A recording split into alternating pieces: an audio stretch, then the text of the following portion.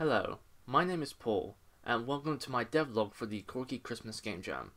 The date is the 17th of December 2016, and the project's working title is Dr. Corky Cornelius Shepherd. The game is a top-down stealth game where you destroy as much of the office furniture as possible whilst not getting caught by the guards or staff. A quick overview of what I'm going to be talking about. I'm first going to go over my thoughts and feelings at the moment. I'm going to cover everything that I currently have in the engine, and I'm going to cover any future work that I'm going to be doing over the course of today. So to start off with, this is my first game jam. I have developed games before as part of my games design course. I've been on my games design course for three years, currently on my masters for it at the moment. Nothing published because the uni owns the rights to those games, so unfortunately, even if I wanted to, the uni currently owns everything that was produced for the game. So, what I aim to do with this game jam is increase my presence and portfolio. Because, as all well good as it is having uni work, I don't necessarily own it, own any of it anymore, as I just mentioned. And I want content of my own that I can say this is my own copyright and this is what I have produced and released out there. I'm not necessarily expecting to win, as any person would normally say in this scenario. If I manage to place high up, you know, that's an achievement in itself. But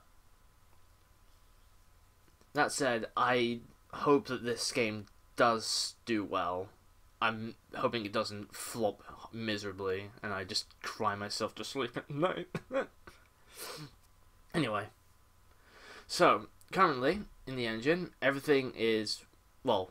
The sprites are currently proxy. Um, the collision stuff is purely there to just represent the um, different collision types that I have.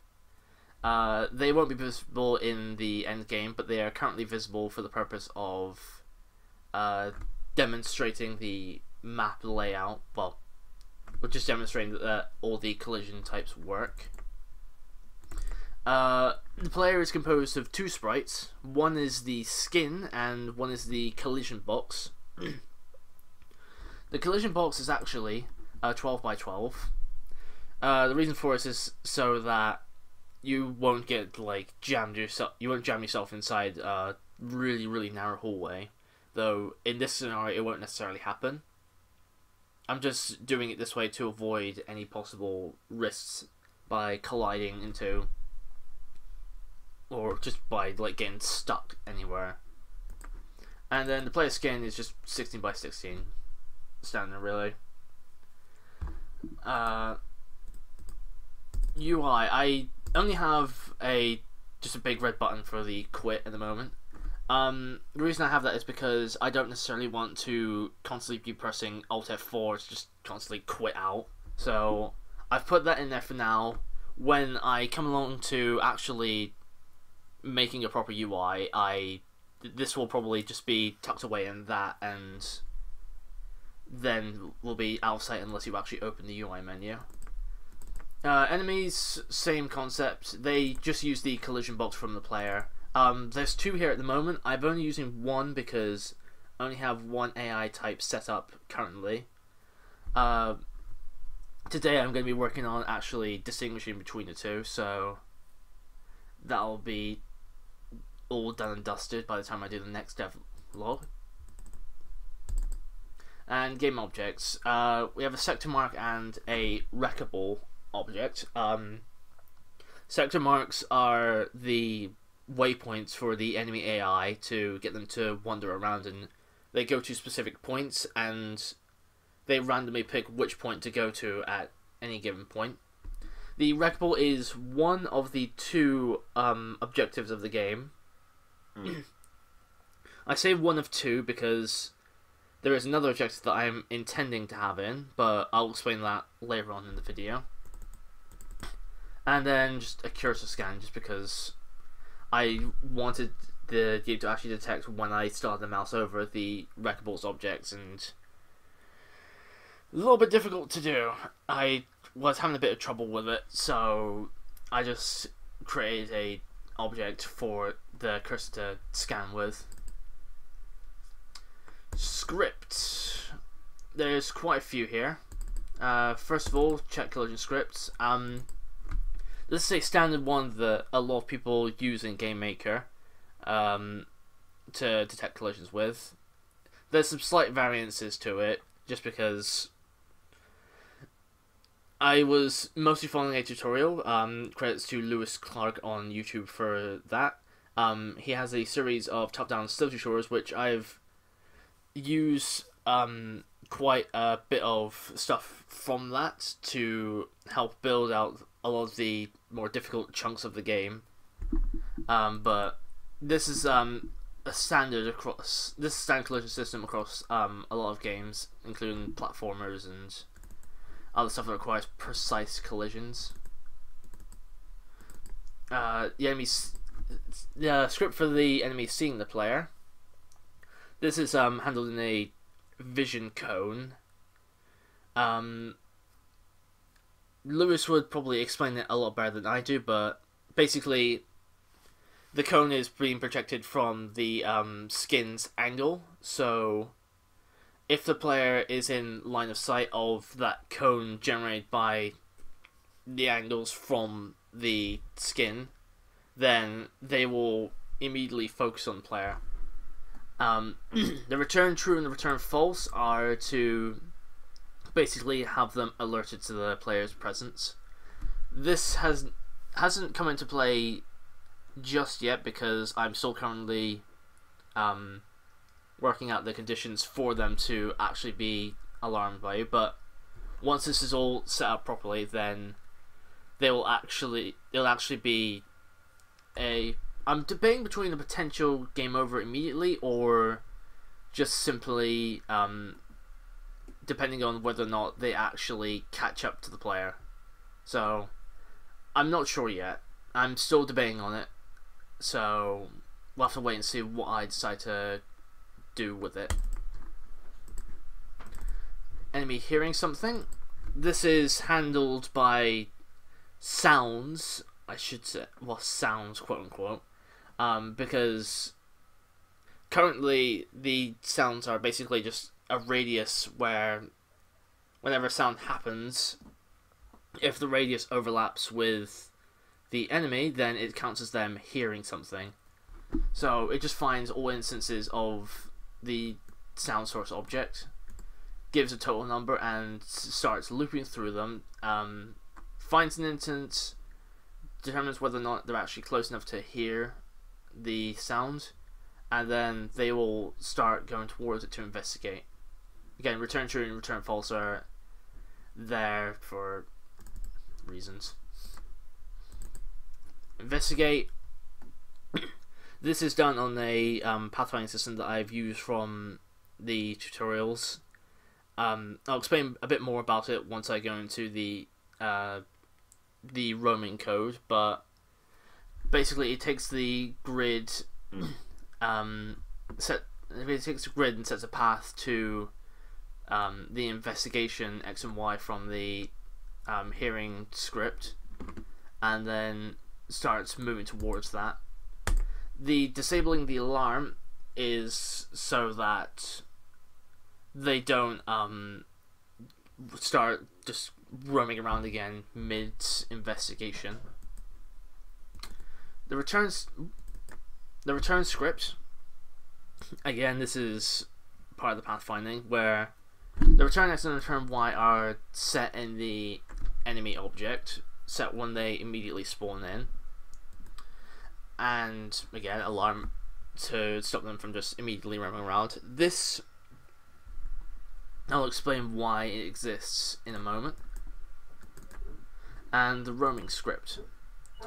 So this is where a lot of the um, generation for pathfinding happens. because this is the first script that will happen in the game once the enemies are spawned in. So you have a grid which is called from the uh, controller object. Um, it checks to see how many instances of the sector markers exist, totals them up. This is similar to the um, hearing code. Um, and then it stores them all under their own variable. This I got from an inventory um, tutorial by Shaun Spalding, I believe. I'm trying to remember off the top of my head and I can't. Um, so this I just got from an inventory tutorial where it just sets each um, sector mark that it counts up and then I can refer back to it. Um, this adds the collision blocks to the um, instances. This is so that the enemy doesn't try and walk through them. so then that basically gives them the path they need to follow and track. Then I have a temporary variable for a random range of numbers between 0 and minus 1 of the total sectors. Since the variable for the sector starts at 0 and it stops once it goes once it's like once it goes actual to the total number of sectors in the room. I need to make sure it's minus one so that it doesn't go one over and then suddenly causes crashes because it's trying to find a sector that doesn't exist. It then sets the target sector to the sector that's randomly chosen. And if that if the current sector they're in is not the target sector, then they can safely set the sector they're going to as that sector and then get the x and y of it and set a path and go along that path. Roaming equals true is to stop the script from constantly looping and never actually setting the alarm to go back. And here's where enemy return comes into play because if it picks the current sector that's already on, then it has to have somewhere to return to. And I don't know what would necessarily happen if it picked the exact same sector and tried to make a path to it when it was already there. But I'm doing this to avoid the risk of it actually going to a point where it shouldn't be going to. And again, roaming equals true. Just avoids actually trying to um, loop the script over and over again. Gameplay, create sounds. This is one of the uh, well, this is the only um, script in the moment that uses arguments. This is what creates the um, sounds whenever something happens, such as stepping or destroying one of the objects. You got loudness, duration, the X position, and the Y position. Loudness determines the radius of it.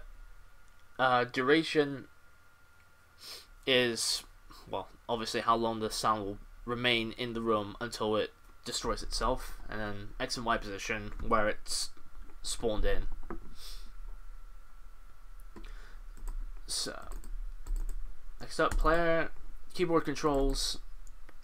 Um, these I'm debating on offering alternate control schemes because while it's up to WASD, um, I'm considering possibly making a uh, mobile or tablet version for the purposes of testing it while I'm not necessarily um while well while I'm out and about basically because I don't necessarily want to be constantly logging a laptop everywhere and I need to be able to test this somehow so the speed up and speed down is um more for convenience, really, because players will probably want to move a little bit faster or actually move slower around certain areas. Um, so yeah, basic movements. Um, it just adds to the um, it just adds the move speed to the v speed whenever you hold one of the keys down, and if you hold two keys at once, then you stop.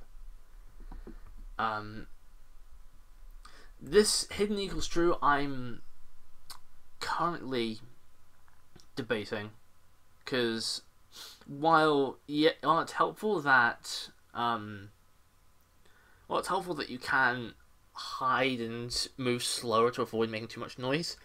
The problem is at the moment it happens by default. So what I'm debating is actually having it um, activate whenever you uh, press a key to actually hide.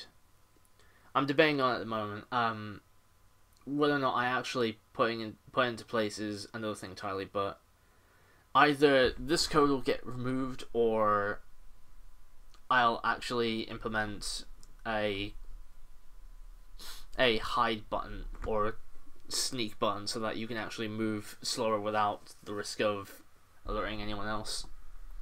Limit speed, this is just because obviously since it's adding the move speed to the uh, vertical and horizontal speed, I need to make sure that it doesn't start going over that speed.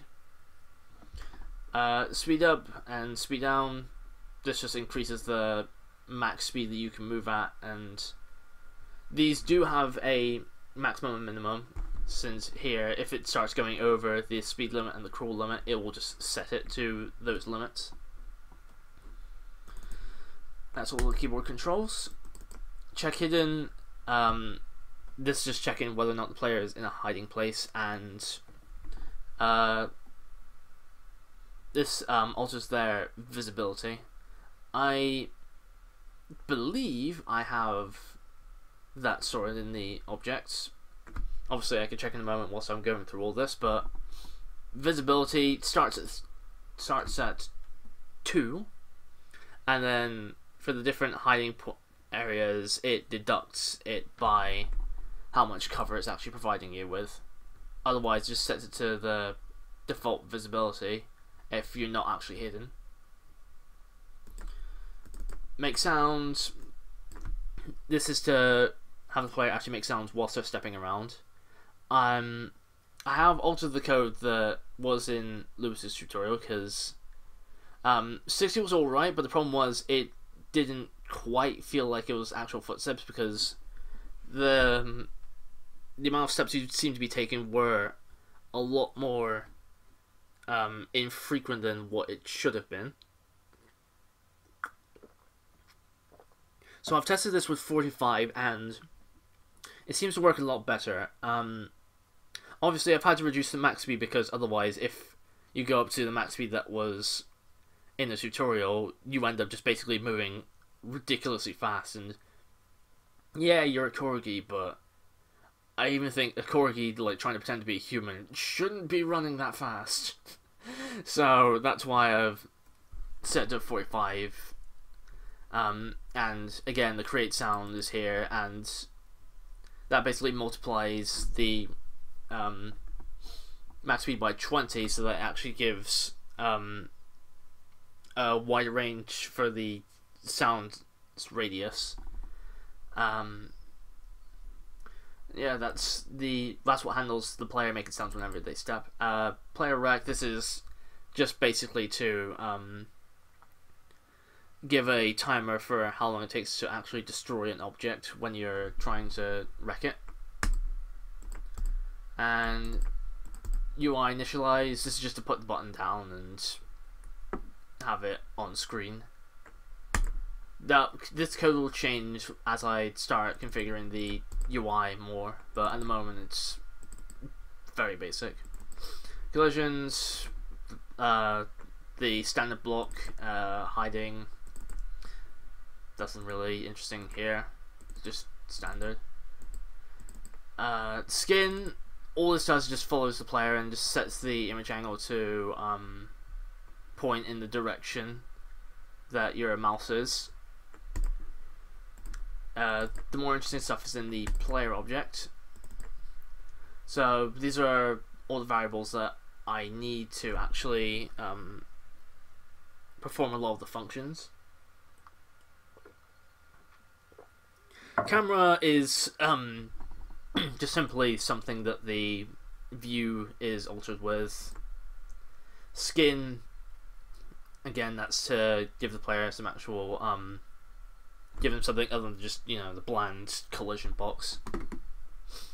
Move speed, max speed, um, move speed, obviously, you, um, in the keyboard controls, it was adding the, those to the V speed and the H speed. Max speed is something to limit this speed with.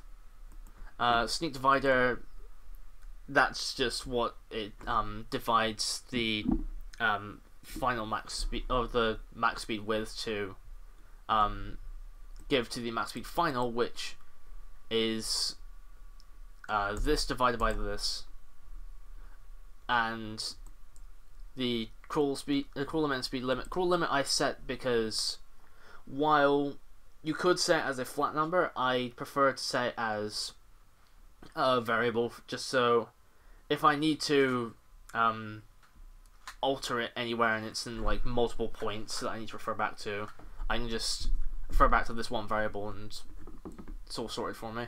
And speed limit, this just prevents you just going insanely fast and possibly spilling your beverage. um, hidden, this just checking whether or not.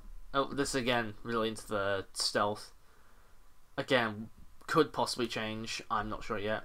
Reach just determines how far away you, you are from a wreckable object, and is to limit you from just clicking all the way across the other end of the map to break an object. Um, I still need to fill with this. I don't quite know if it's what I want to use for. Yeah, I'm gonna check the range on it. Um, probably today actually. See if it's accurate enough. If it's a bit too far out, then I'm most likely gonna lower this down. Noise level. This was a temporary variable. I could probably just get rid of this actually. I don't need it.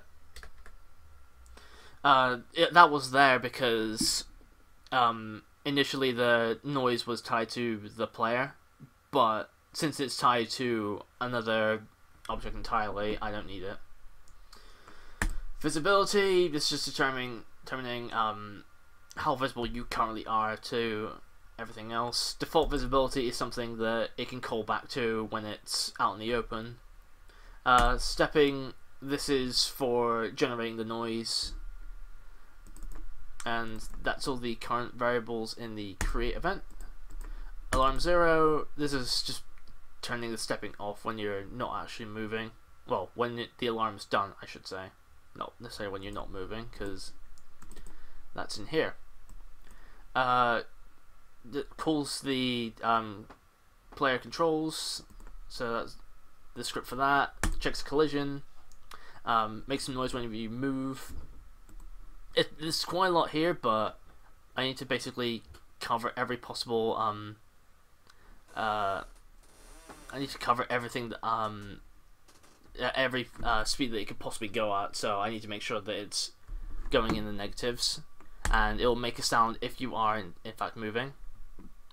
Check hidden, this is just checking whether or not you are in a hiding space, and that's all for the object player. Object player camera, uh, this is just basically altering the um, X view and Y view to follow the mouse and keep the player in view with that. Uh, UI, button quit.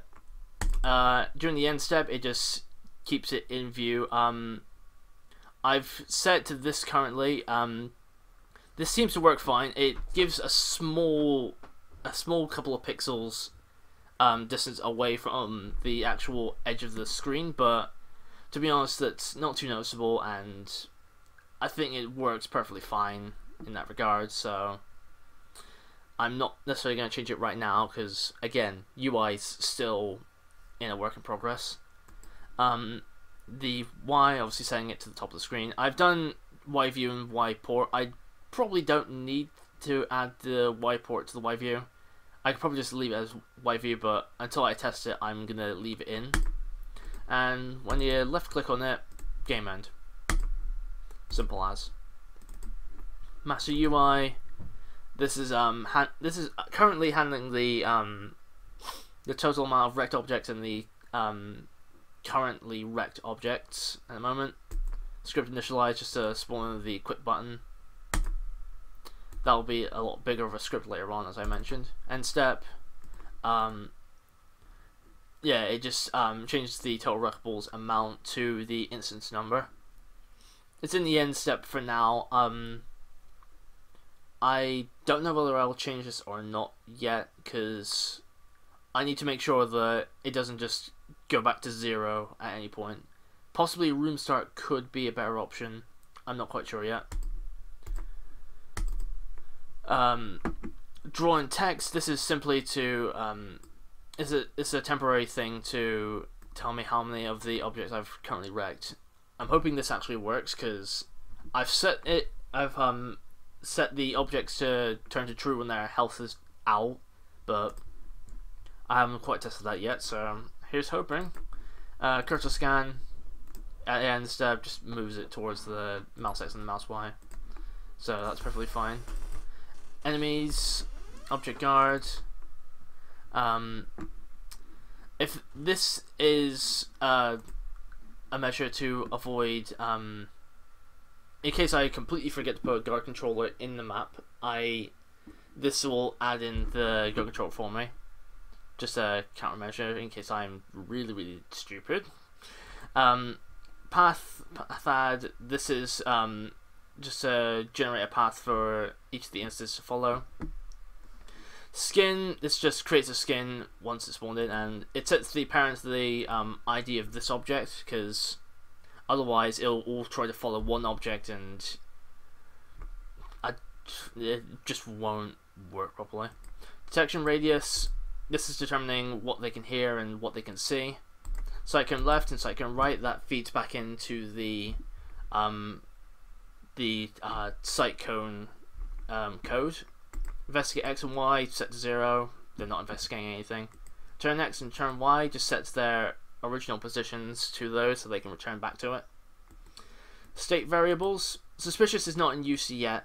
I'm intending to get that sorted today so that because again I need to sort out everything relating to the objectives and getting the wreckable objects sorted first and then um, and then once that's all in place, I can start adding in the um, state for suspicious.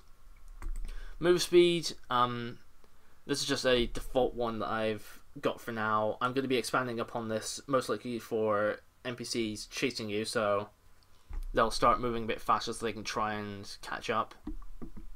Current sector and target sector, just set them to minus one because obviously if I set them to zero, they we'll just try and go to the um, first sector on the list. And the alarm is just a it's just set to 180 when it's created just to get them moving because I want them to start moving once the game starts but I gave them a little bit of time where they're not moving so that the player has a bit of time to just adjust to the uh, surroundings a little bit more. Guard skin, this is basically um, this is basically the same thing as the uh, player skin. Parent equals no one when it's created, just so that it doesn't default to pairing it to something else. Um, the X and the Y uh, set to the parent X and Y, so it follows those and not just follows one single object. Guard controller uh, guard this just initializes the grid um initializes it to the size of the room divided by 16 so the reason it's doing this is because the grid size is 16 by 16 and if I just left it as it is it would um, create a much larger grid that I don't actually need and a lot of that would go off the screen this isn't necessarily a problem because it's a, an enclosed area but I wanted to avoid that as much as possible Alright, I'll give you a quick run through of the game just so you can see what's currently in it. Gonna have to wait for it to build and all that wonderful, wonderful stuff.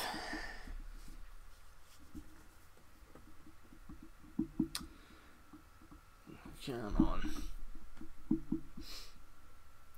Anyways, um, while I'm waiting for that, I guess I can mention future stuff I'm going to be working on today. Um, well, first big thing is obviously um, getting the. Oh, oh dear! I apparently have an error. Ah, okay. So, I've apparently I've apparently forgotten to take the draw event out. I don't know how I managed to completely forget that. Um, ah, I know where it is. I think it is because it is in here. Yeah, it is. This was a temporary measure to. Um, this is when the noise level is attached to the player and not to the um, separate object noise level. Oh yeah, game. Oh yeah, game objects as well. Uh, noise level equals zero. This is the sound source. Uh, alarm zero. This just sets it to be destroyed in the duration. And draw. Um, this is a tempor temporary um, debugging, or well, just a temporary um proxy thing, just so I can see how loud the noise is. Sector mark. Nothing special. Um, object wreckable, HP, toughness. Toughness is divided.